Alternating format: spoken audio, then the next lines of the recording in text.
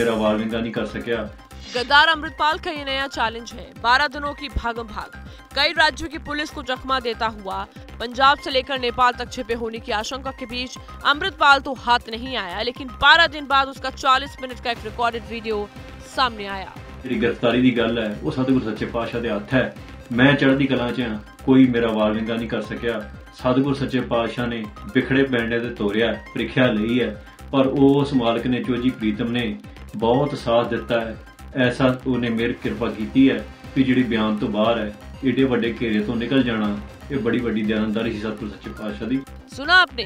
12 दिनों में पुलिस से बचकर भाग रहा गद्दार अमृतपाल कैसे शेख ही भगा रहा है ऐसे में सबसे बड़ा सवाल ये है कि आखिर गद्दार अमृतपाल कहाँ छिपा बैठा है भगौड़े अमृतपाल की मदद आखिर कौन कर रहा है अमृतपाल का ये नया वीडियो न सिर्फ़ पंजाब की सरकार के लिए एक चुनौती है, बल्कि केंद्रीय गृह मंत्रालय के सामने भी एक चुनौती है।